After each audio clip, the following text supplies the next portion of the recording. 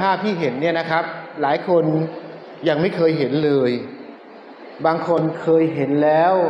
ในบางภาพ หรือบางคนก็สงสัยว่าเอ๊ะแล้วมันมันเกี่ยวกับอะไรมันเป็นแบบไหนบ้างนะครับ วันนี้ในเรื่องราวที่เกี่ยวข้องกับการประกอบพิธีฮัจญ์เนี่ยก็จะ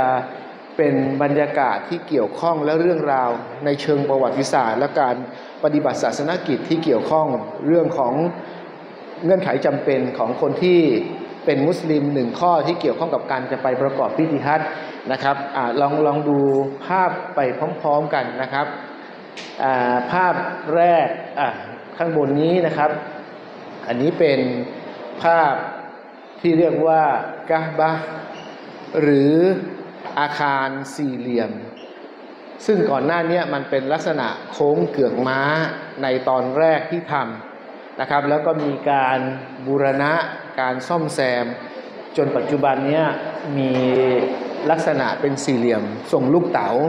หลายคนสงสัยว่าแล้วข้างในมีอะไร โมเดลข้างในกาบ้าเนี่ยมีใครเคยเข้าไปแล้วมีอะไรบ้างนะครับ ก็มีมีโมเดลที่อยู่ในในเนื้อหาตรงนี้ด้วยนะครับ อันนี้นะดำๆเป็นก้อนๆแปะอยู่ที่ริมเนี่ยเขาเรียกว่า ฮายารอนอัสวัตหรือว่าหินดำซึ่งจริงๆแล้วตัวหินดำเนี่ยนะครับไม่ใช่ก้อนนี้ทั้งก้อนนะมันมีหินที่เป็นขนาดไม่ใหญ่นักเนี่ยถูกประหนึกอยู่ในในแท่นนี้นะครับในทีฮัตแล้วเดินเวียนรอบกาบาแบบนี้เนี่ยนะครับ แล้วเวลาละหมาดก็หันไปทางนี้เข้าใจว่ามุสลิม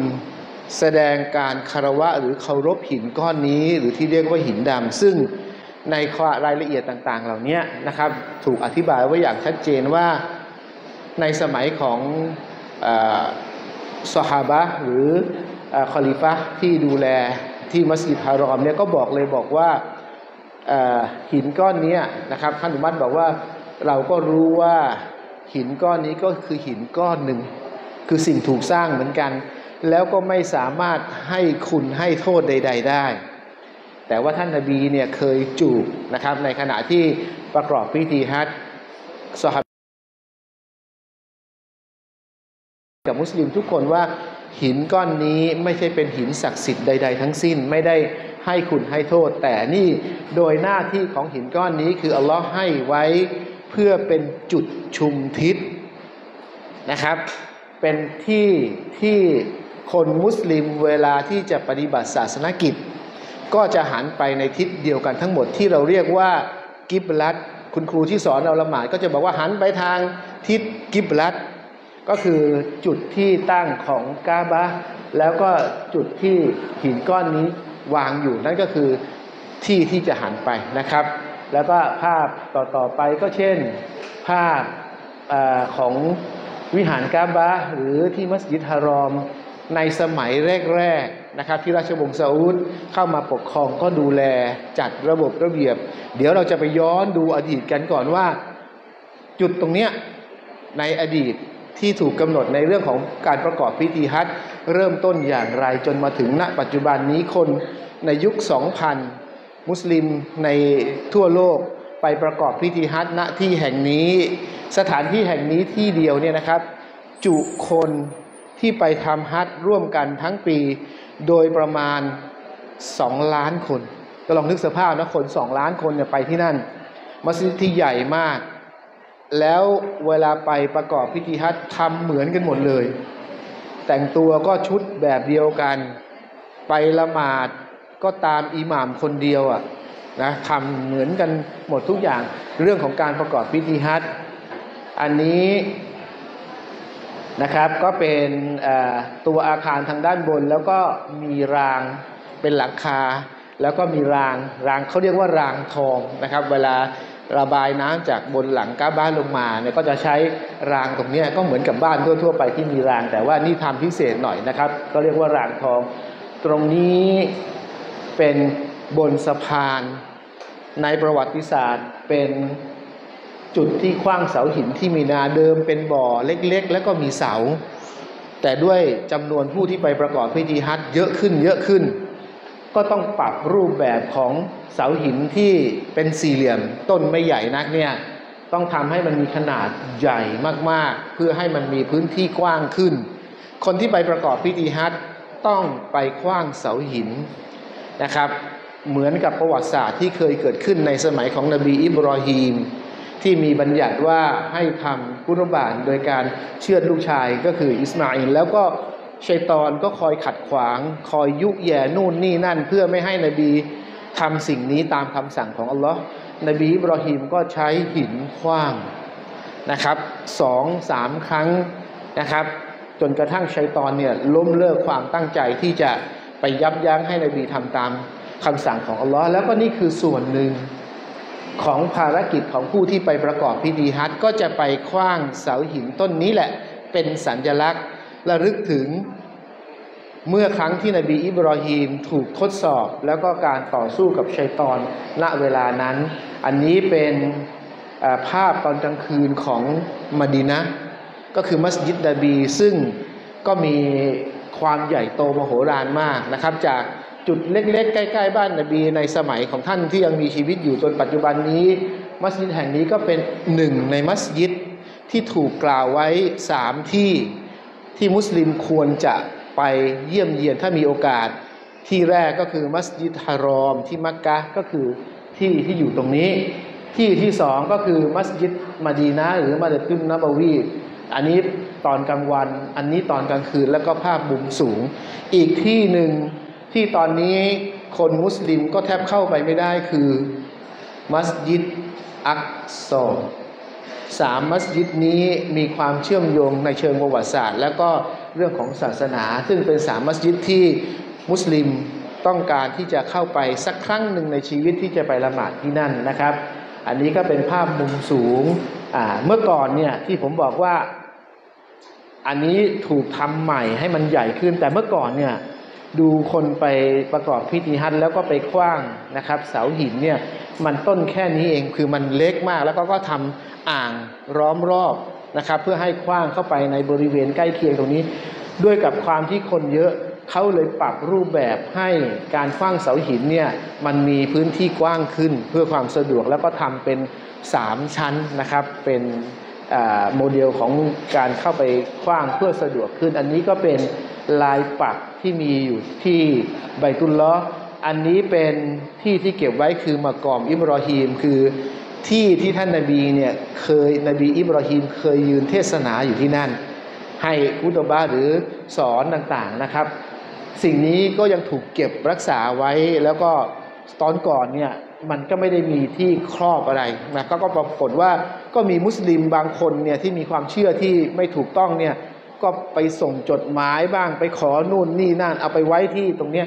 ปัจจุบันนี้เขาก็ทำที่ครอบเอาไว้เลยนะครับเขาเรียกว่ามากอมอิบรอฮีม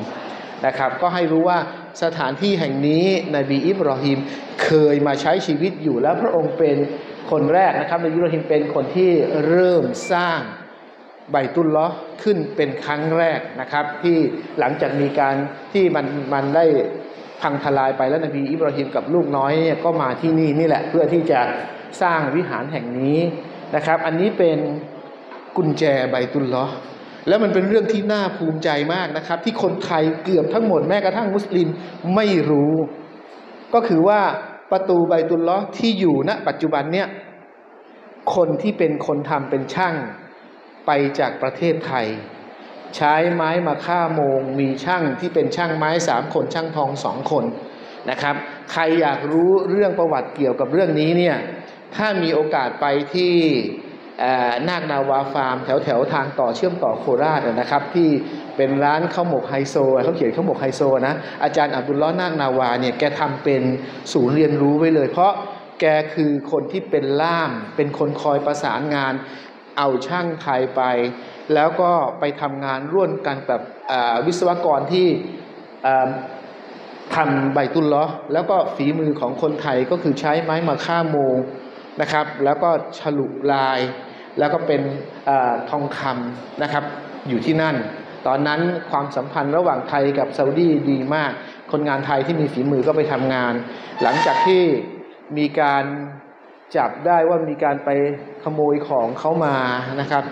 เกียงไกรเตชะโมงไปขโมยเพชรมาความสัมพันธ์ของประเทศไทยกับซาอุดีก็เป็นอันสิ้นสุดลงตั้งแต่ตอนนั้น ตอนนี้ก็อิชาอัลอก็เริ่มต้นใหม่นะครับ อันนี้ก็เป็นข้อมูลในเชิงประวัติศาสตร์ โดยรวมๆที่เอามาเล่าให้ฟังจากภาพนี้นะครับ แต่ว่าวันนี้สิ่งที่เราจะเรียนจะทำความเข้าใจกันก็คือเรื่องของการประกอบพิธีฮัจญ์นะครับ แล้วเรื่องนี้เนี่ยอ่าก็ จะพูดถึงรายละเอียดที่เกี่ยวข้องนะครับ เช่นสถานที่ต่างๆ เหล่านี้อันเนี้ยที่บอกว่าเป็นฝีมือของคนไทยนะสวยงามมากนะยิ่งใหญ่มากเลยนะครับ ที่เราเคยไปทำไว้แล้วก็ภาพต่างๆ ที่เป็นภาพประกอบที่ผมได้อธิบายไปแล้ว ตอนที่ทำสไลด์เนี่ยโมเดลนี้ยังไม่เสร็จเป็นเพียงแต่ภาพร่าง แต่ตอนนี้เสร็จสมบูรณ์มาหลายปีแล้วนะครับ ก็ ให้บริการจากคนที่ไปประกอบพิธีฮัจสามารถที่จะเดินขึ้นไป แล้วก็คว้างเสาหินแบบนี้เนี่ยทีหนึ่งเป็นแสนแสนคน แล้วสมัยก่อนเดินทางด้วยรถนะครับรถบัสรถอะไรแต่เดี๋ยวนี้มีรถไฟหัวจรวดความเร็วสูง เดินทางระหว่างมักกะมะดีนะแล้วก็ในพื้นที่ต่างๆ เช่นตอเอฟอันนี้ก็จะเป็นภูเขานะครับที่อยู่ที่ทุ่งอารฟะแล้วก็ทุ่งมีนา อันนี้ก็เป็น มัสยิดนบีจุดที่เดินผ่านตรงนี้นะครับ มันเป็นมากอมที่เป็นที่ฝังศพของท่านนบีที่อยู่ในในในมดีนะห์นั้นนะครับ เอามาให้เห็นถึงว่าภาพต่างๆ โดยบรรยากาศโดยรวม แล้วก็ถึงแม้ว่าจะเป็นกลางทะเลทรายนี่นะครับ ในประวัติศาสตร์ที่ฮารอมมักกะก็เคยเกิดน้ำท่วมเหมือนกัน ลอยคอว่ายน้ำเลยนะครับตะวาบกันแบบนั้นเลยก็มีอันนี้คือ ภาพบรรยากาศที่เราได้เห็น อันนี้ปัจจุบันนี้ไม่มีแล้วนะครับอุโมงค์ตรงนี้เนี่ยเป็นอุโมงค์ที่คนไปประกอบพิธีฮัจจะเดินลงไปข้างล่าง แล้วก็มีบ่อน้ำซำรำที่สูบออกมา เพื่อที่จะให้ไปดื่มไปกินไปใช้นะครับ แต่ตอนนี้เนี่ยเขาปิดปิดไปแล้วมันเป็นลานตะวับกว้างลานที่เดินเวียนรอบเพราะเนื่องจากว่าต้องขยายมัสยิด แต่ว่าบ่อน้ำซำๆที่อยู่ตรงเนี้ย ก็มีท่อสูบออกมา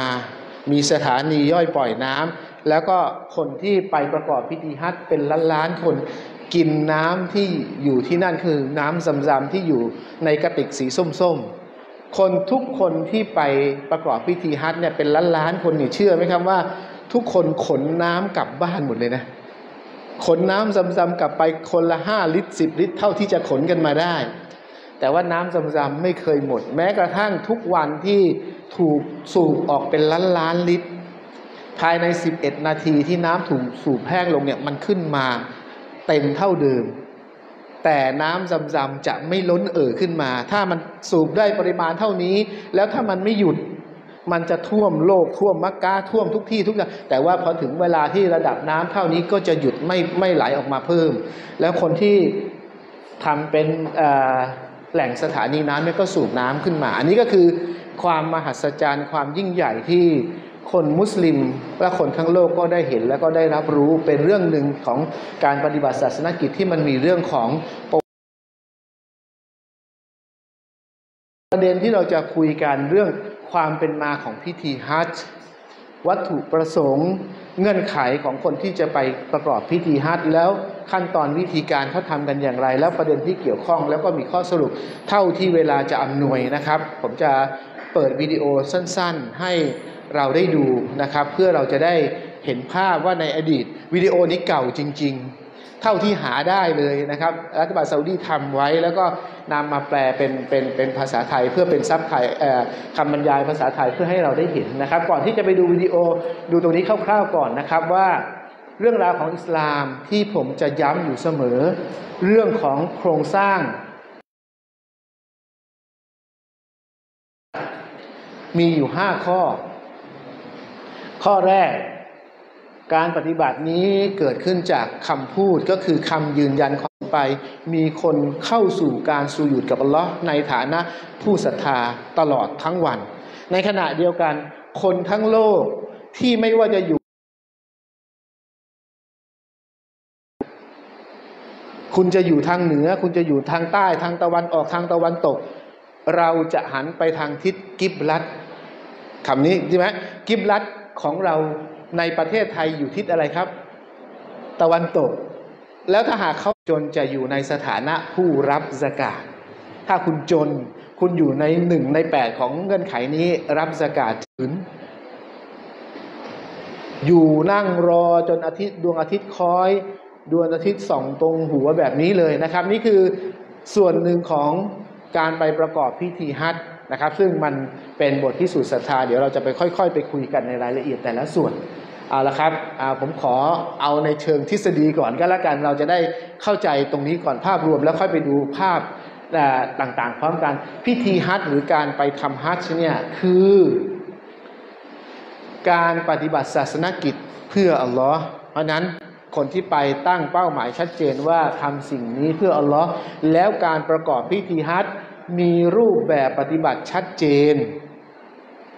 เป็นการเดินเวียนรอบ การแต่งกายชุดที่ถูกกำหนดไว้ มีสถานที่มีเวลาชัดเจน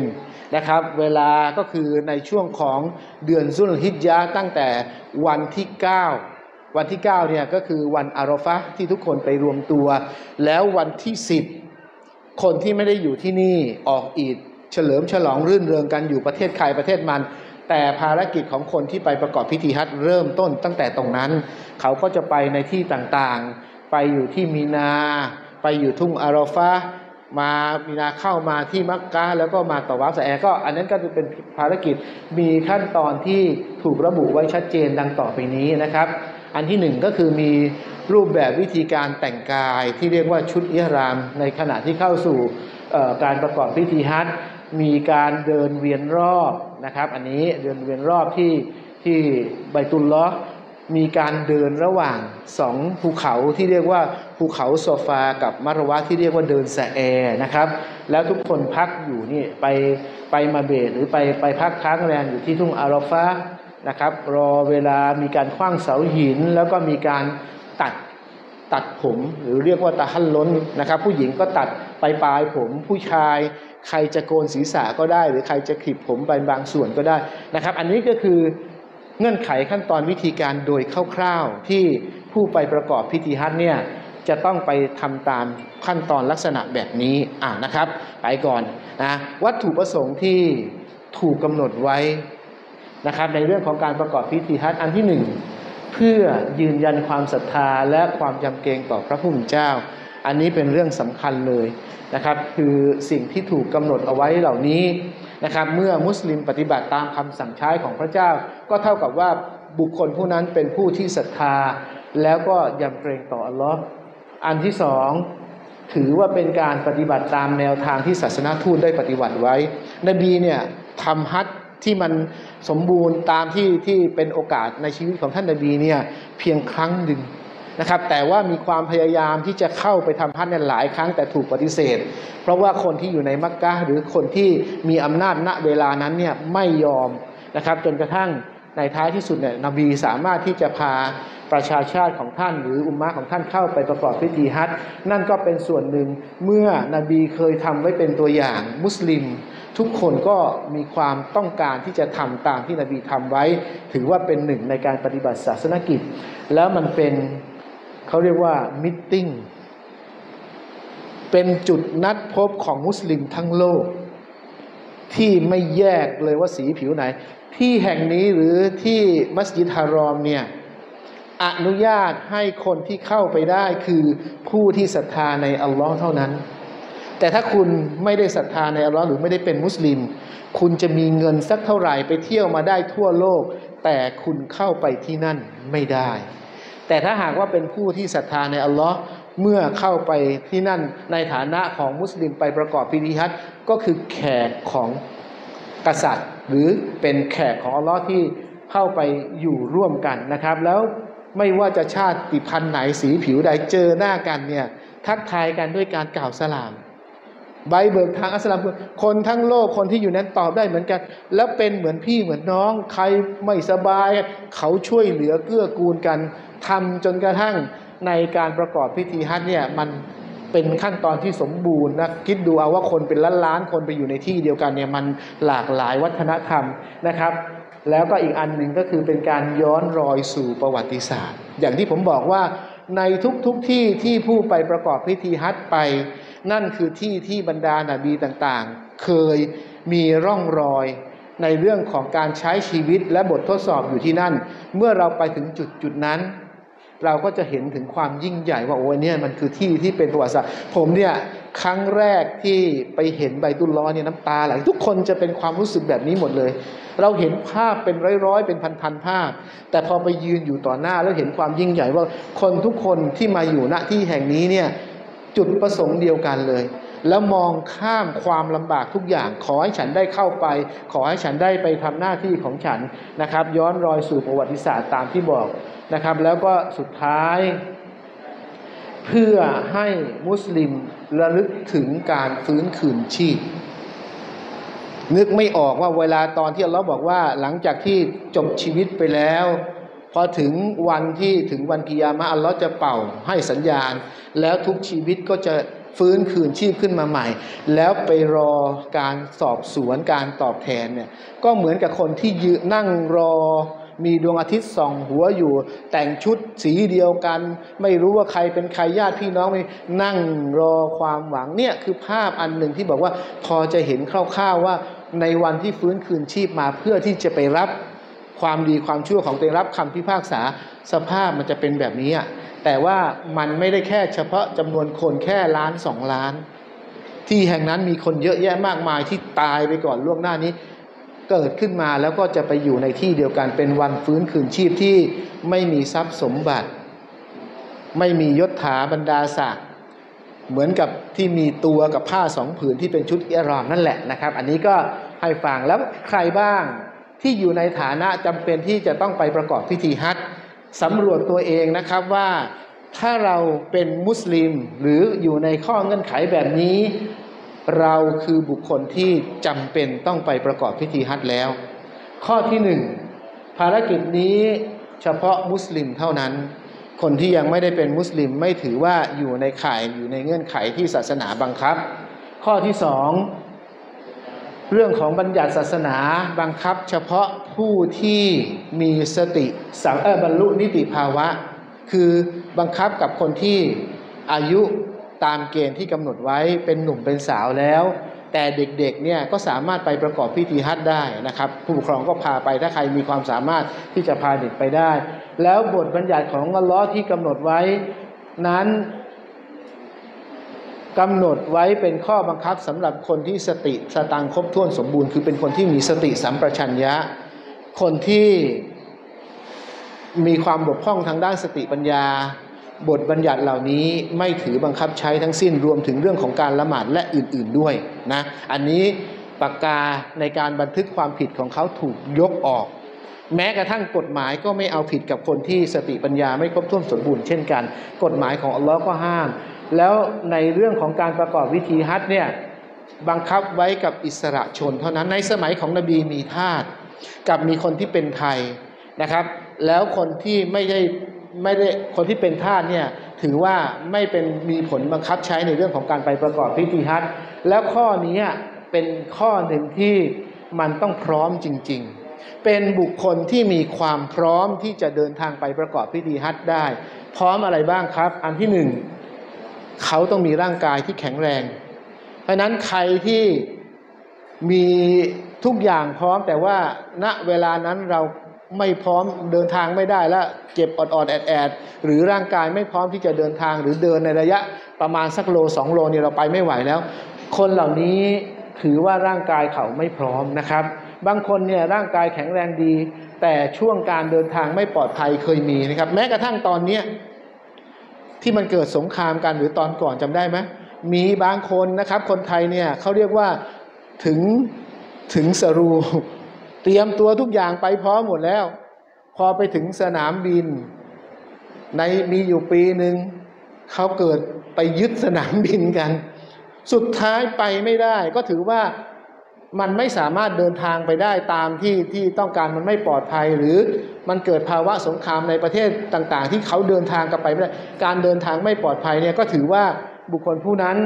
ไม่ต้องไปประกอบพิธีฮัจในสภาพนั้น หรือว่าต้องมีสเสบียงอาหารก็มีค่าใช้จ่ายนะครับในการไปประกอบพิธีฮัจไม่ต้องไปเป็นหนี้เป็นสินใครเขานะ เอาเท่าที่เรามีเท่าที่เราพร้อมนะครับ หมายความว่าเรามีค่าใช้จ่ายที่จะไปใช้จ่ายในเวลานั้น แล้ว คนที่อยู่เบื้องหลังเราที่เราดูแลเนี่ยเขาก็สามารถดำรงชีวิตอยู่ได้ ถ้าเป็นหัวหน้าครอบครัวก็ต้องเตรียมทุกอย่างไว้ให้พร้อมให้กับคนที่อยู่ที่ข้างหลังแล้วเราก็ไปทำหน้าที่ของเรานะครับ อันนี้เดี๋ยวนี้ค่าใช้จ่ายในการไปประกอบพิธีฮัจญ์ประมาณเท่าไหร่นะสองแสนแล้วตลอดชีวิตการทำงานฉันเนี่ยฉันไม่เคยเก็บเงินได้ถึงสองแสนต้องไปไหมยังไม่ต้องเพราะไม่มีความพร้อม นะครับ อันนี้เข้าใจตรงกันนะ คือมันมีค่าใช้จ่าย แล้วมันก็ค่อยๆ ขยับขึ้นไปเรื่อยๆ ยิ่ง ประกันเรื่องของภัยสงครามนี้อาจจะมีเพิ่มขึ้นด้วยซ้ำไป แต่ว่าถ้าเงินจำนวนนี้หรือค่าใช้จ่ายจำนวนนี้ที่เขาจัดบริการ มันเยอะแล้วเราไม่มีท่านก็คือผู้ที่ยังไม่มีความพร้อมนั่นเอง แต่เงินทองเหลือเฟือ แข็งแรงดี จะไปเมื่อไหร่ก็ไปได้ไป แล้วไม่ไปนั่นคือ เราบกพร่องในหน้าที่ของเราคือเราพร้อม แต่เราไม่ทำหน้าที่ของเรานะครับ อันนี้คือเงื่อนไขเอาละครับ หลักฐานที่บอกไว้ว่าวลิลลาฮิอัลลนาซิฮิจุลไบติมันิสตะตออิไลฮิสบีลาเป็นสิทธิของอัลลอฮ์ที่จะกำหนดให้มนุษย์ไปประกอบพิธีฮัจเฉพาะผู้ที่มีความสามารถเดินทางไปเท่านั้น นี่คือเงื่อนไขบอกว่าถ้าเราไม่พร้อมก็ไม่ได้เป็นข้อบังคับ แต่ถ้าพร้อมแล้วไม่ไปนั่นคือ ความบกพร่องของเราเองที่เราจะต้องไปตอบต่ออัลลอฮ์นะครับ ความประเสริฐของการประกอบพิธีฮัจญ์นะครับที่ฮะดิษนบีบอกว่ามันฮัจญาฟาลัมยัดฟุตฟาลัมยัดซุดเราจะอามินดูนูบิฮีกะยามีวาลาดัตอุมุฮูแปลว่า ผู้ใดที่ไปประกอบพิธีฮัจญ์โดยที่เขาไม่พูดจาหยาบคายไร้สาระไม่ไปละเมิดผู้อื่น เขาจะออกจากบาปของเขาเหมือนกับวันที่มารดาเขาคลอดออกมา ก็หมายความว่า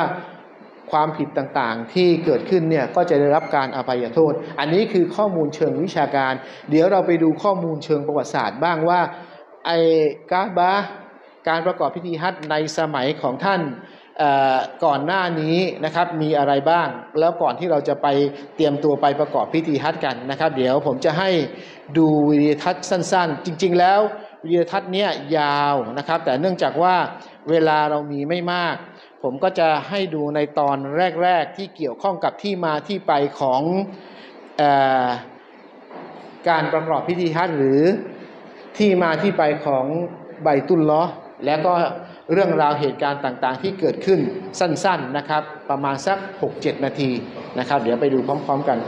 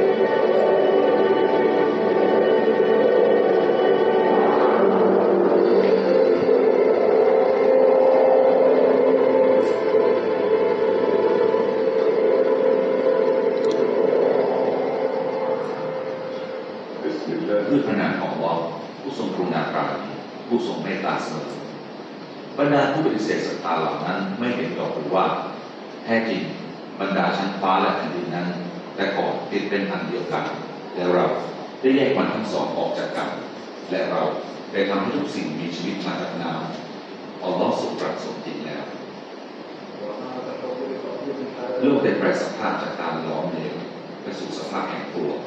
และยึดเหนี่ยวซึ่งกันและกัน สิ่งแรกที่แห่งตัวก็คือจุดศูนย์กลางของโลก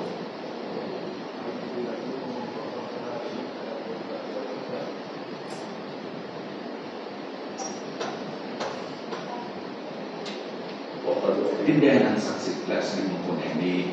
ห้อมล้อมไปด้วยเทือกเขา ซึ่งเป็นที่ยึดเหนี่ยวของโลก ดังนั้นรวยแห่งนี้จึงมีความมั่นคงและณที่แห่ง นี้เองเกิดว่าทรงคัดเลือกไปเป็นที่ตั้งของไบอยบอซึ่งถือเป็นบ้านแรกที่ถูกสร้างขึ้นมาเพื่อเป็นแบบอย่างอันดี และเป็นที่ให้ความปลอดภัยแก่มนุษย์พระองค์ทรงให้มาลาอิกาสร้างมันขึ้นมา เพื่อให้เป็นสถานที่ให้มนุษย์ประกอบศาสนกิจโดยการเวียนรอบและอาดัมก็ได้ไปทำพักที่บ้านหลังนั้นด้วยการเวียนรอบพร้อมมาลาอิกา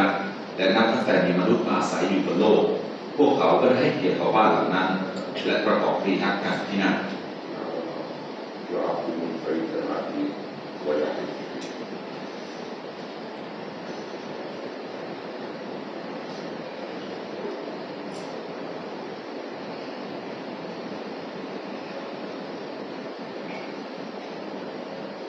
บอกว่าแต่เมื่อวันเวลาได้ผ่านคนไป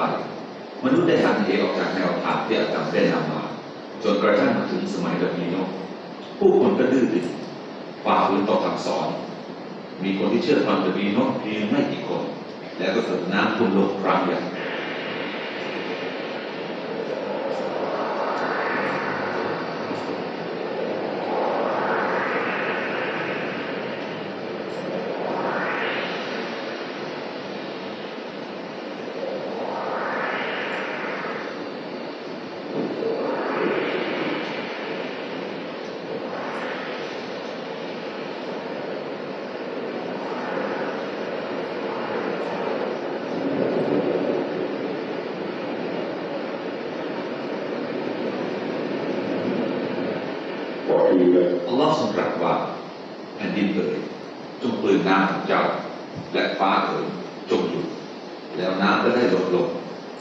กการทุกอย่างได้ถูกตัดสินชี้ขาด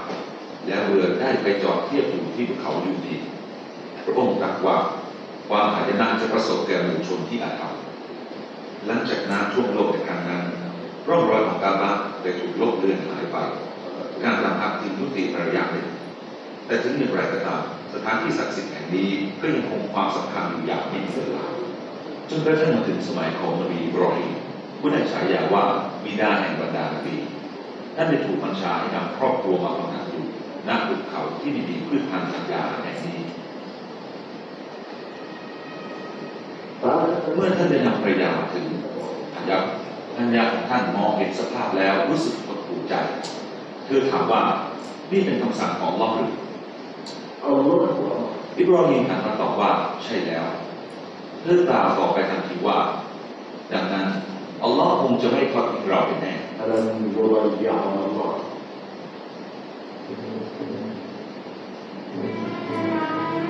واشتد العطش เพราะความแข็งแรงอิสมาอิลเล็กน้อยจนรู้สึกกระหายน้ำเท้าทั้งสองของเขาขี่ไปมาบนพื้นดินผู้เป็นแม่พยายามที่จะค้นหาน้ำเพื่อดับความกระหายของลูกชายเพียงคนเดียวนางจึงขึ้นไปบนที่เนินเขาสปาแล้วลงไปยังภูเขา จนกระทั่งไปถึงเนินเขามารวัน ซึ่งอยู่ตรงกันข้ามเพื่อค้นหาแหล่งน้ำแต่ไม่พบนางวิ่งไปวิ่งมาอยู่อย่างนั้นถึงเจ็ดเที่ยวด้วยกัน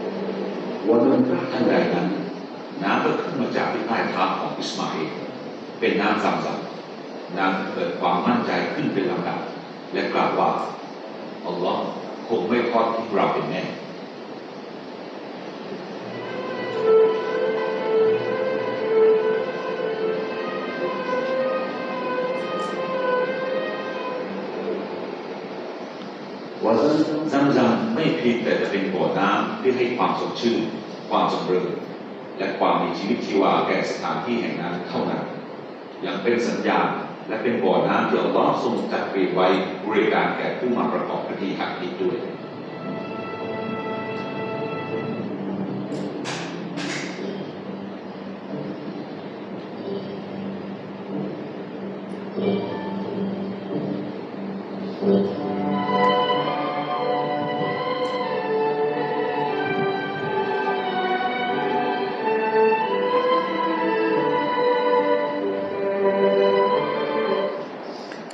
ก็เห็นภาพคร่าวๆนะครับว่า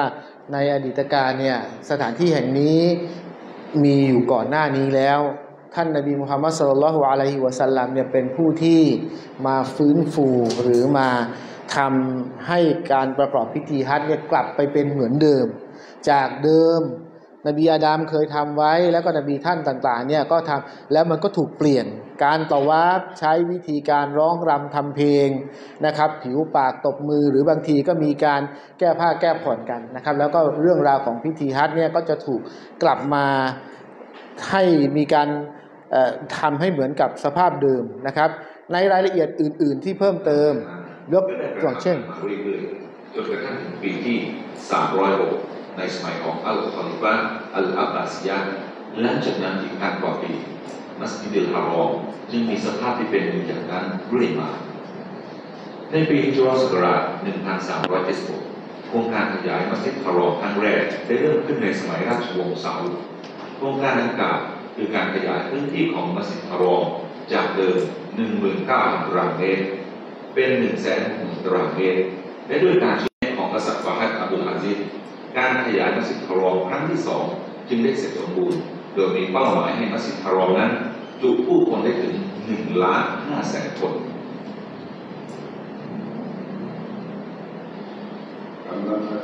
ส่วนภาคภูมิกาบานั้น ในสมัยก่อนราชวงศ์ซาอุดจะถูกส่งมาจากประเทศอียิปต์ในสมัยกษัตริย์ซอแลห์ราชมุตีแต่หลังจากกษัตริย์อับดุลอาซิซขึ้นของราชก็ได้มีคำสั่งให้สร้างโรงงานทอผ้าคลุมกาบาขึ้นในมักกะในปีทศศักราชที่ 1346 ตั้งแต่นั้นเรื่อยมาโรงงานนี้ได้ทอผ้าคลุมกาบามาทุกปีผ้าคลุมกาบานั้นทอจากผ้าไหมบริสุทธิ์มีน้ำหนักถึง 670 กิโลกรัม เสียค่าใช้จ่ายถึง 17 ล้านเหรียญต่อปี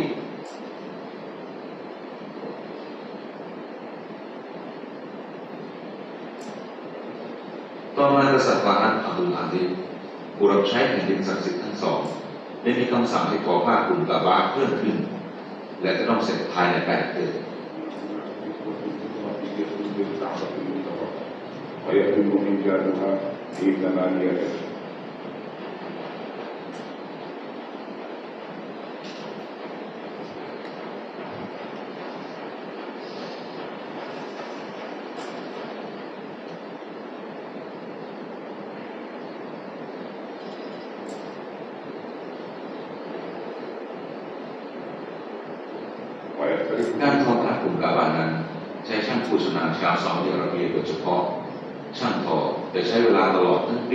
เย็บปักโครงการอัลกุรอานประดับผ้าคลุมกาบา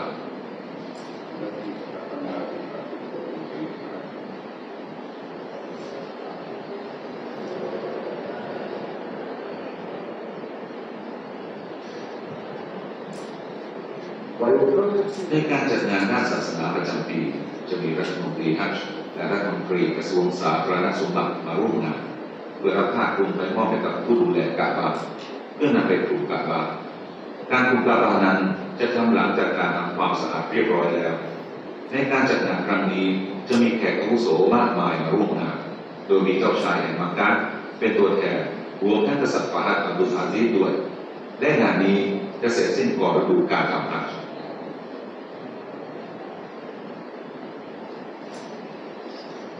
โอเคครับ ก็เป็นภาพรวมๆนะครับให้เห็นที่มาที่ไปแล้วก็บรรยากาศ ตั้งแต่ในอดีตที่เกี่ยวข้อง ปัจจุบันนี้ถ้าเราอยากดูบรรยากาศจริง ๆ ที่มักกะมัสยิดฮารอมทั้งสองที่เนี่ยเราก็จะพบว่าได้มีการปรับปรุงพัฒนาไปเพื่อรองรับคนจำนวนมากขึ้นมากขึ้น เพราะว่ามีผู้ที่ศรัทธาในอัลลอฮ์เพิ่มจำนวนขึ้นเยอะมาก ถ้าหากว่าไบตุลล้อไม่ถูกกำหนดไว้ว่าให้ แต่ละประเทศเข้าได้จำนวนกี่คนน่ะที่ที่นี่ก็รับคนไม่จุ อย่างประเทศไทยเนี่ยนะครับเขาก็จะดูโควต้ากับจำนวนมุสลิมที่อยู่ในประเทศไทย แล้วก็แยกเป็นอัตราส่วนโดยประมาณเนี่ยเขาจะให้คนไทยไปได้ปีละ 8,000 ถึง 10,000 คนไม่เกินนี้ ประเทศอินโดนีเซีย ประเทศมาเลเซียที่มีประชากรมุสลิม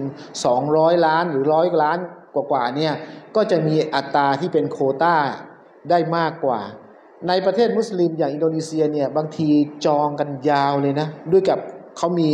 list waiting list รอจนกว่าจะถึงใครจะได้ไป แต่ประเทศไทยเนี่ยด้วยว่าโคต้าที่มีจำนวนที่มากพอสมควรจึงทำให้คนไทยได้มีโอกาสได้ไป เนื่องจากประชากรมุสลิมในประเทศไทยมีไม่มากด้วยนะครับ อันนี้ก็เป็นความโชคดีของคนไทยที่ที่เราได้มีโอกาสไปทีนี้นะครับ หลังจากที่ ได้ให้ข้อมูลเบื้องต้นที่เกี่ยวข้องกันแล้วเนี่ยผมเสริมนิดหนึ่งสมมุติว่าในโอกาสที่เรานะครับให้ตั้งเจตนาให้ดีเลยนะครับว่าสักครั้งหนึ่งในชีวิตในฐานะที่ฉันเป็นผู้ศรัทธากับอัลลอฮ์ขอให้ฉันได้มีโอกาสไปประกอบพิธีฮัจแล้วบุคคลที่อัลลอฮ์เรียกนะครับ หลายคนเนี่ยนึกไม่ถึงว่าเขาจะมีโอกาสได้ไปนะครับ อันนี้มันเป็นเรื่องราวที่ การตอบรับดูอาที่อัลลอฮ์เรียกนะครับลูกศิษย์หลายคนนะครับมีถึงขนาดบอกว่าเอาวันนี้ใครมีพาสปอร์ตแล้วสามารถเดินทางไปได้ มีคนให้ทุนไปฮัทก็เคยมีมาแล้ว อันนี้แล้วแต่เพราะบางครั้งเนี่ยมันเกิดขึ้นได้ แต่ว่าถ้าเรามีความตั้งใจจริง แล้วก็พยายามเก็บหอมรอมริบในชาวเราเราก็จะให้ความสะดวกสบาย แล้วก็ให้โอกาสกับเราถึงแม้ว่าเราจะไม่ได้ไป การตั้งเจตนาอย่างนี้ก็ได้ผลบุญนะครับเหมือนกับคนที่ตั้งใจจะไปประกอบพิธีฮัททุกคน ทีนี้ถ้าเมื่อถึงเวลาที่เราพร้อมนะครับ สิ่งที่น่าจะเป็นประเด็นที่ผู้ที่จะไปประกอบพิธีฮัทเนี่ยควรที่จะเตรียมการดังต่อไปนี้ อันที่หนึ่งเราสำรวจตัวเราเองก่อน ดูว่ามันมีข้อบกพร่องข้อผิดพลาดที่เกิดขึ้นกับตัวเรา นะครับพฤติกรรมบางอย่างที่ไม่เหมาะไม่ควรหรือสิ่งที่เป็นความผิดที่เกิดขึ้นในอดีตเนี่ยให้เราตบัดตัว กลับเนื้อกลับตัวนะครับ สารภาพผิดกับอัลลอฮ์แล้วสิทธิต่างๆ ที่เราเคยไปละเมิดกับใครเขาก็ส่งคืนให้เขาไปซะ หรือขอมาอัฟเขานะครับเพราะนั้นก็จะพบว่า ก่อนที่ผู้จะไปประกอบพิธีฮัทเนี่ยเขาก็จะแจ้งกับคนที่เกี่ยวข้องหรือคนที่อยู่ใกล้ตัวว่า ถ้ามีอะไรที่ฉันเกินเลยเนี่ยก็ขอมาอัพด้วยนะจะไปประกอบพิธีฮัทอันนี้ก็เป็นส่วนหนึ่งที่จะทำให้เราเดินทางไปด้วยความสบายอกสบายใจ อันที่สองแสวงหาค่าใช้จ่ายในการเดินทางไปประกอบพิธีทัศด้วยปัจจัยที่บริสุทธิ์หรือฮาลาลอย่าไปซื้อหวย แล้วเนียดตั้งใจบอกว่าถ้าถูกหวยจะไปประกอบพิธีฮัท อย่าคิดแบบนั้นแล้วอย่าทำอย่างนั้นเป็นเด็ดขาด เพราะสิ่งที่มันได้จากเงินในลักษณะนี้ต้นทางมันก็ไม่ฮาลานเราก็ไม่เอาสิ่งต่างๆ เหล่านั้นเข้ามาสู่การปฏิบัติในการดำเนินชีวิตเรา และมุสลิมก็จะไม่เอาเงินเหล่านี้ มาซื้ออาหาร มาซื้อปัจจัยให้คนในครอบครัวเราบริโภค เพราะว่าถ้าต้นทางมันไม่ฮาลานสิ่งที่เป็นเนื้อเป็นหนัง มันก็พลอยที่จะสกรปรกแปดเปื้อนไปด้วย เคยมีคนมาร้องทุกข์กับท่านนาบี ว่าทำไมดูอาของฉันถึงไม่ถูกตอบรับ นบีตอบว่า อาหารที่ท่านกิน เสื้อผ้าที่ท่านใส่การใช้ชีวิตของท่านเนี่ยมันยังไม่ฮาลาลเลย แค่นี้สิ่งที่มันง่าย ๆ เรายังทำไม่ได้เลย แล้วเราจะไปคาดหวังในเรื่องของการตอบรับสิ่งยิ่งใหญ่ที่เราขอนะครับ อันนี้ก็เป็นฮะดิษอันหนึ่งประการที่สามให้ตั้งเจตนาบริสุทธิ์ว่า เป็นการไปประกอบพิธีฮัจทำเพื่ออัลลอฮ์ไม่ใช่ทำเพื่อชื่อเสียง หรือนับจำนวนครั้งว่าฉันไปทำฮัจห้าครั้งสิบครั้ง หรือเกินกว่าสิบครั้ง ในบทบัญญัติเนี้ยกำหนดว่าทั้งชีวิตนี้ ขอให้ไปได้สักครั้งหนึ่งก็พอแล้ว นะครับ ถ้ามีโอกาส ถ้าใครไม่มีโอกาสหรือไม่พร้อม ไม่ได้ถือว่าเป็นข้อบกพร่องของเราแต่ประการใดนะครับ แต่ถ้าใครไปได้นะครั้งหนึ่งก็เพียงพอแล้วสำหรับบทบัญญัติภารกิจในหน้าที่นี้ แล้วสิ่งสำคัญก็คือการเนียด บางคนเนียดไปเที่ยวมีนะครับ เตรียมสตางค์ไปเตรียมกระเป๋าไปสองใบ ไปฮัทเนี่ยตั้งใจจะไปซื้อของของแบรนด์เนมเยอะแยะมีทองมีอะไรขายสวยๆไปนะแล้วก็ไปเป็นอย่างนั้นจริงๆพอเนี่ยต้นทางไปแบบนั้น พอไปถึงมักกะเดินซื้อแต่ของอย่างเดียว นะครับ ไม่ไปสุเราไม่คุยกันแต่เรื่องจะไปซื้อนู่นจะไปซื้อนี่นี่อันนี้มีนะครับ เพราะนั้นตั้งเจตนาของเราให้ดีแล้วเราไปเนี่ยไม่ได้เพื่อเอื้ออดอวดกับใคร ไม่ให้ใครมายกย่องสรรเสริญอะไรใด ๆ ทั้งสิ้นประการที่4นะครับการเดินทางสิ่งหนึ่งที่ควรจะมีก็คือ เลือกเพื่อนเดินทางที่ดี เพราะว่า การเดินทางไปในคนหมู่มาก การช่วยเหลือเกื้อกูลกันและเพื่อนร่วมทางที่ดีเนี่ยมันจะเป็นส่วนหนึ่งที่จะทำให้เราสามารถที่ปฏิบัติภารกิจต่างๆ ได้อย่างลุล่วงนะครับ อันนี้ก็คือข้อมูลต่างๆ ที่เกี่ยวข้องกับผู้ที่จะไปประกอบพิธีฮัจญ์เดี๋ยวไปต่ออีกนิดนึงนะครับ อันนี้ผมให้ไปดูในพื้นที่ก่อนว่า เมื่อกี้เราเห็นภาพในอดีตไปแล้ว เรามาดูภาพนะครับ ที่มันเปลี่ยนสมัยเปลี่ยนยุคขึ้นมา จนกระทั่งถึงณปัจจุบันนี้นะครับโมเดลเดิมที่เกี่ยวข้องอันเนี้ยอย่างที่บอกว่าแล้วข้างในใบตุ้นล้อเมื่อกี้ที่เราเห็นนะมีอะไรบ้างนะครับ โมเดลนี้มีเสาอยู่ 3 ต้น พื้นเป็นหินอ่อนมีหลังคาคลุมแล้วก็กันฝนกันน้ำเข้าแล้วก็มีราง แล้วอันนี้ก็จะเป็น อิฐที่ก่อขึ้นเป็นอิฐใหญ่ๆนะครับ เรียงขึ้นสูงมาประมาณแค่เอวแค่แค่ครึ่งตัวเราเนี่ยนะครับที่อยู่รอบๆข้าง เดิมใบตุ้นล้อยาวมาถึงหินโค้งอิสมาแอลเลยนะครับ อันนี้ถือว่าเป็นการบูรณะหลังจากที่นบีอิสมาแอลได้เคยมาทำเอาไว้นะครับ ตอนยุคที่กษัตริย์ซาอุดีเข้ามาปกครองแล้วก็ดูแล เขาเรียกว่า ผู้รับใช้ฮารอมเมนชาริเฟน ก็คือผู้รับใช้มัสยิดทั้งสองนี้เพราะนั้นก็มีหน้าที่ดูแลความเรียบร้อย ให้บริการกับผู้ที่มาประกอบพิธีฮัจทั้งทั้งสองที่ทั้งที่มักกะแล้วก็ที่มาดีนะ ดูภาพเมื่อก่อน เดี๋ยวนี้ภาพที่มันจะโล่งๆแบบนี้ไม่มีแล้วนะครับ คนแน่นไปหมดเลยจะมีช่วงที่โล่งมากๆก็คือช่วงที่เขาเคลียร์คนที่ไปฮัจกลับบ้าน แล้วก่อนที่จะเปิดให้คนไปทำอุมรอเข้าไป ช่วงแกลบตรงนั้นนะที่เคลียร์คนนะ่ะก็จะว่างนิดนึง แต่ว่าในทุกๆนาทีในทุกๆ วินาทีที่ใบตุลลอณตรงนี้เนี่ยก็จะมีคนเข้ามาประกอบศาสนกิจนะครับเมื่อก่อนเนี่ยว่างโล่งนะมีนะครับหินโค้งอิสมาทุกอย่างที่เกิดขึ้นตั้งแต่สมัยนบีอิบรอฮิมก็ยังคงอยู่นะครับลานตะวับ ในปัจจุบันนี้ก็ใหญ่โตมโหฬารนะครับ จากในวิดีโอเนี่ยประมาณล้านกว่า เดี๋ยวนี้ขยายใหญ่ขึ้นนะครับ และทุกวันศุกร์ในขณะที่ในช่วงเทศกาลฮัทพื้นที่ที่เป็นถนนโดยรอบ ก็มีคนละหมาดเต็มไปหมดเลยนะครับ อันนี้คือสภาพบรรยากาศอันนี้เป็นภาพเก่าเป็นภาพเขียนว่ามันเคยมีที่ที่ยืนแสดงธรรมนะครับ ที่ที่นบีอิสมาเอลทำต่างๆ ก็เป็นภาพเขียนในอดีต สภาพแวดล้อมต่างๆ ที่เกิดขึ้นในข้าวสมุทรอาหรับที่เป็นภาพเขียนนะครับ อันนี้เวลาเข้าไปประกอบพิธีฮัจการเดินเวียนรอบจุดที่ตั้งของหินดำอยู่ตรงนี้ก็จะเป็นเขต แล้วก็รัศมีตรงไปจากยาวแค่ไหนก็แล้วแต่เนี่ยนะครับ ถ้าคนที่ประกอบพิธีฮัจเดินเวียนรอบก็นับจากจุดตรงนี้ เดินวนมาตรงนี้ ก็ถือว่าได้หนึ่งรอบ เขาเรียกว่าการเวียนรอบตะวับหนึ่งรอบ ในการประกอบพิธีฮัจผู้ที่ไปประกอบพิธีฮัจก็จะเวียนแบบเนี้ยเจ็ดรอบนะครับ เดินอย่างเงี้ยที่เขาเรียกว่าตะวับเนี่ยเจ็ดรอบ ทีนี้ใบตุลล้อเนี่ย ก็จะพื้นที่โดยประมาณเนี่ยก็ห้องประชุมนี้แหละนะครับ ที่ใหญ่เนี่ย เพราะนั้นใครที่เดินรอบใกล้ ก็จะเวียนรอบนี้เจ็ดรอบ แต่ว่าถ้ารัศมีถ้าใครไกลออกไปรอบของเขาก็จะกว้างหน่อยนะครับ หรือแม้กระทั่งคนที่เขาเดินไม่ได้ แล้วใช้รถวิวแชร์ ใช้รถวิวแชร์เนี่ยจะลงไปในลานเนี่ยไม่ได้เพราะคนเยอะ เขาก็จะมีเลนข้างนอกให้นะจะให้ญาติเข็นเดินเวียนรอบนับรอบเอาหรือเอาแบบบังคับรีโมทก็บังคับไปเองก็ได้ แต่ว่านับจำนวนเท่ากันก็คือเจ็ดรอบเหมือนกัน สมัยก่อนที่หลายสิบปีและหลายปีที่ผมเคยไปแล้วก็ภาพบรรยากาศเก่าๆเนี่ยคนที่ไปประกอบพิธีฮัสเสร็จแล้วเนี่ยเขาเดินไม่ไหว ก็จะใช้ขึ้นคันหาม แล้วก็มีคนแบกเนี่ยเวียนรอบแบบเนี้ยใจเท่านั้นเองตัวเองไม่ไหวแล้วใจยังสู้ก็ไปนะครับ อันนี้คือเรียกการต่อวาบส่วน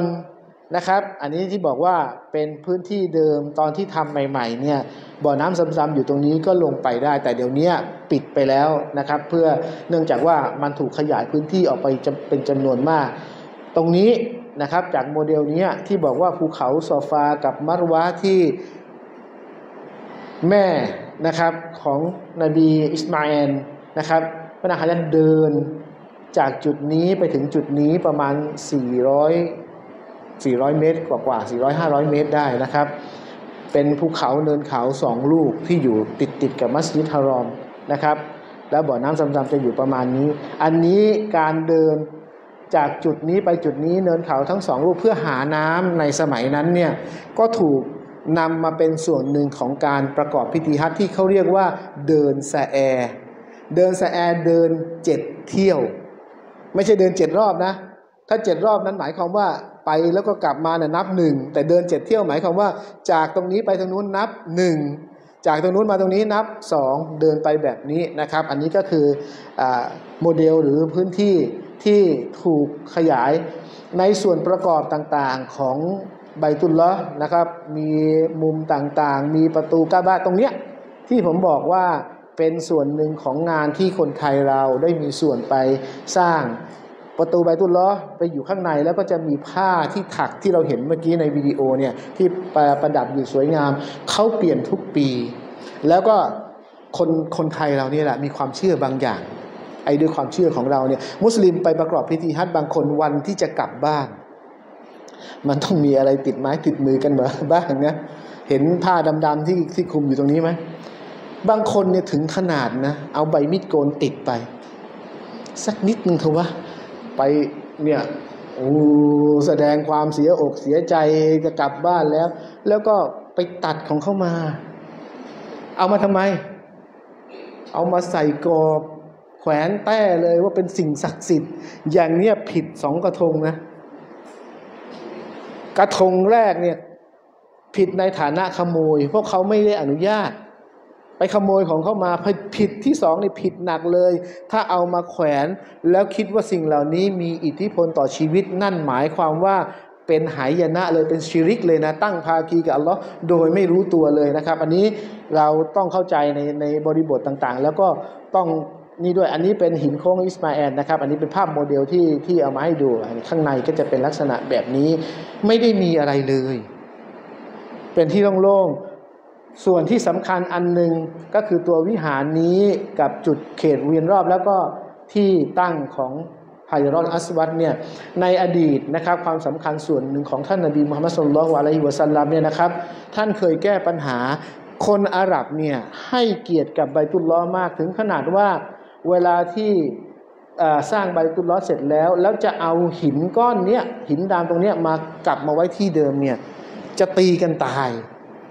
อยากจะให้หัวหน้าเผ่าของตัวเองเนี่ยได้รับเกียรติเพื่อที่จะยกหินนี้กลับไปสู่ที่ของมันเถียงกันตกลงกันไม่ได้ ก็ในที่ประชุมของเผ่าต่างๆ บอกว่า เดี๋ยวถ้าใครเข้ามาในมัสยิดคนแรกเนี่ยให้คนนั้นชี้ขาดว่า จะเอาใครจะเป็นคนที่มีสิทธิ์เอาหินดามก้อนเนี้ยกลับไปไว้ที่ที่เดิมนบีมุฮัมมัดเข้ามา ทุกคนก็ตั้งมองเลยว่าแล้วแล้วนบีจะจะจัดสินให้ใครในสี่เผ่าเนี่ยนบีเอาผ้าวาง แล้วก็ให้หัวหน้าเผ่าทั้งสี่เผ่าจับชายผ้า แล้วท่านก็ยกหินเนี่ยวางไว้ตรงกลางผ้า แล้วให้ทั้งสี่เผ่าเนี่ยไปด้วยกัน happy ending ทุกคน happy พอใจว่านี่คือการตัดสินอย่างชาญฉลาดและไม่เกิดการกระทบกระทั่ง แล้วก็นำมันกลับไปไว้ที่เดิม อันนี้คือประวัติศาสตร์ส่วนหนึ่งที่นำมาเล่าให้ฟังนะครับ อันนี้ก็เป็นโมเดลต่างๆ ซึ่งตอนนี้เนี่ยอันนี้เป็นประตูทองคำนะครับ เป็นไม้มาฆ่ามงที่ผมบอกว่าคนไทยเป็นคนทำแต่ว่าจะมีสักกี่คนในประเทศไทยที่รู้ว่านี่คือผลงานที่เราเคยทำไว้นะครับ แล้วมันก็ยังคงอยู่ที่นั่น นะครับ อันนี้เป็นภาพของรางทอง อันนี้ของการประตูใบทุนล้อมันจะสูงประมาณนี้นะครับ ยกขึ้นไปเวลาที่เขาขึ้นไป อันนี้เป็นจุดเดิมที่เคยตั้ง แล้วก็ปรับไปอยู่อีกมุมหนึ่งนะครับ อันนี้ก็เป็นภาพประตูใบตุลล้อมันมีช่างทองกับช่างไม้ที่ทำงานร่วมกันนะครับ แล้วก็มีคนคุมหรือวิศวกรที่เป็นคนอาหรับนะครับที่คอยดูแลอยู่อันนี้ก็เป็นลักษณะของลายปักที่เกี่ยวข้องที่อยู่ อันนี้เป็นประตูใบตุลล้อ จะมีคนในตระกูลหนึ่งตั้งแต่สมัยนบีเนี่ยเป็นคนดูแล ทุกวันนี้กษัตริย์ซาอุดีก็ยังต้องให้คนคนนี้ถือกุญแจอยู่ แล้วพอมีแขกบ้านแขกเมืองมา ก็ต้องไปขอกุญแจจากตระกูลนี้มาเพื่อที่จะเปิดใบประตูใบตุนลลอนะครับ อันนี้คืออามานะหรือความรับผิดชอบตั้งแต่สมัยของท่านนาบีนะอันนี้เป็นเสาข้างในตอนก่อนหน้านี้ เดี๋ยวนี้ก็มีการบูรณะ ปฏิสังขรณ์มันก็คือที่ที่หนึ่งที่มันก็มีเสื่อมสลายไปตามปกติที่มีการทำนุบำรุงนะครับ ก็เป็นภาพที่เอามาให้ดูโดยคร่าว ๆ อันนี้ก็เป็นทางเดินที่เรียกว่าทางสะแอเมื่อก่อนเนี่ยเดินกันไม่มีหลังคา มีแค่หลังคาแบบนี้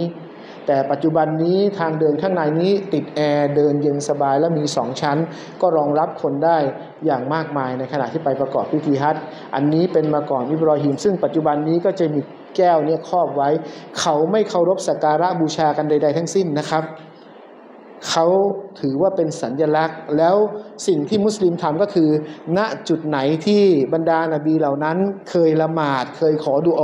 คนที่ไปประกอบพิธีฮัจก็จะไปณที่แห่งนั้นเพื่อที่จะไปขอดุอาหรือไปละหมาดนะครับ ตามจุดที่เป็นแต่ว่าจะไม่ไปขอดุอาขอพรหรือไปกราบไหว้สิ่งเหล่านี้เป็นอันขาดนะครับ อันนี้คืออ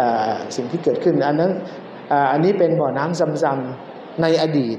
ที่มันเป็นโอเอซิสที่ทุกวันนี้ก็ยังไหลอย่างมากมายโอเอซิสในทะเลทะเลทรายปัจจุบันนี่แห้งไปเกือบหมดแล้ว แต่เนี่ยยังไหลแล้วไหลวันหนึ่งจำนวนมาก ๆ หลายล้านลิตรนะครับ อันนี้ก็เป็นภาพเก่าที่ผมบอกว่ามันเคยมีที่ที่ลงไปเพื่อที่จะไปดื่มน้ำซำๆเป็นบ่อน้ำเป็นที่นั่นได้แต่ว่าปัจจุบันนี้ภาพเปลี่ยนไปแล้ว อันนี้คือ หินดำฮายารอนอัสวัตนะครับที่เห็นอยู่ตรงนี้ไม่ใช่หินก้อนมันมีก้อนเล็กๆ อยู่ประมาณนี้ และทุกวันนี้นี่เกือบหมดแล้วนะครับ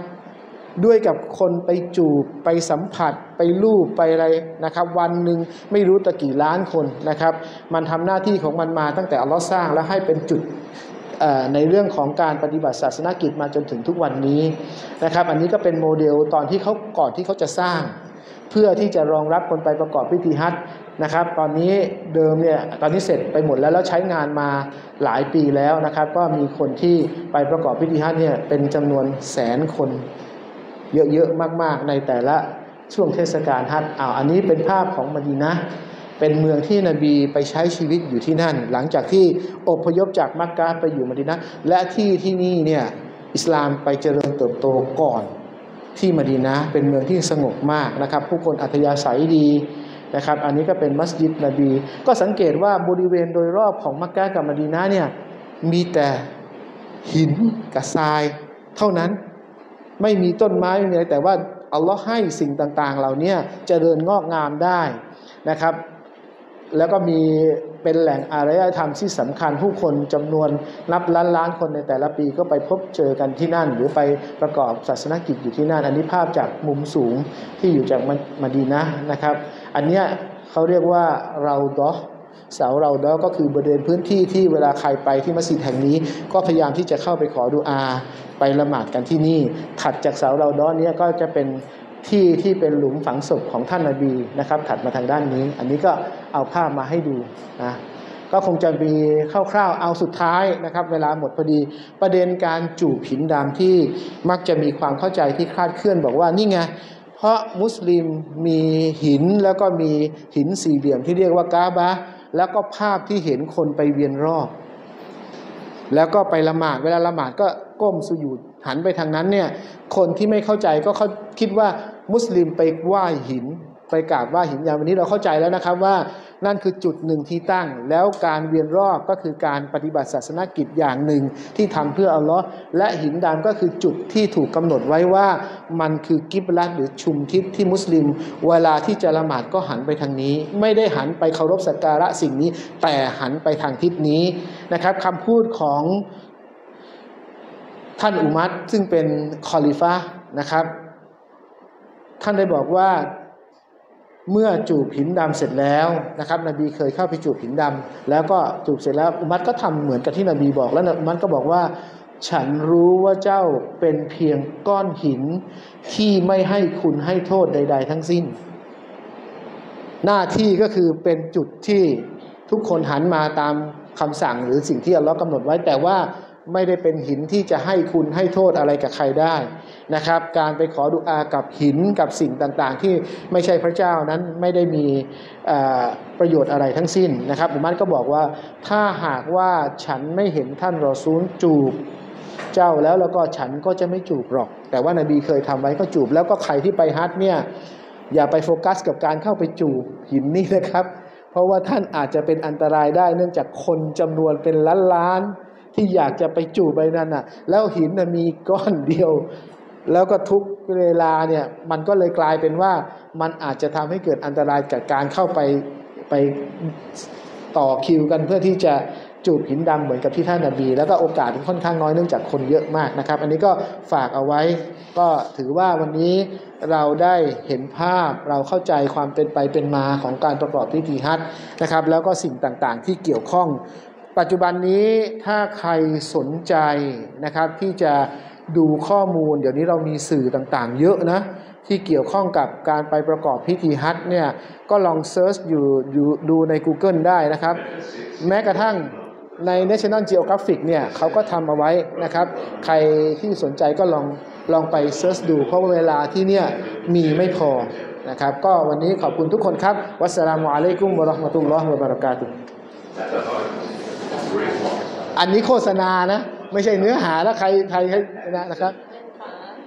มีปัญหาค่ะอาจารอาจารย์ย์พี่น้องผู้ศรัทธาของพวกเรา เรียนวิชา จิตบำบัดไหมคะเรามีหมอทางด้านจิตแพทย์ไหมคะเรื่องเรื่องเรื่องของจิตบำบัดเนี่ยนะครับ มันเป็นเรื่องของศาสตร์วิชาหนึ่งนะ ถ้าใครเข้าใจในเรื่องต่างๆ เหล่านี้เนี่ยก็สามารถที่จะช่วยเหลือผู้คนที่เจ็บป่วยได้ แต่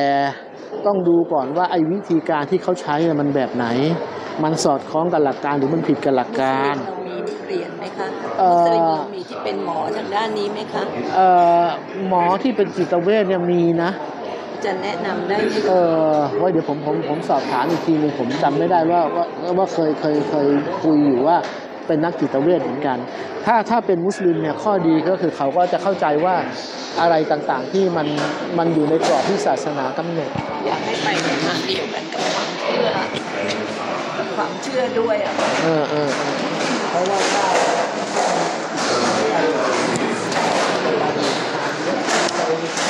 เดี๋ยวไปเลยไปไอแบบผีสางนางร้ายอะไรแบบพี่นี้พี่ต้องการความ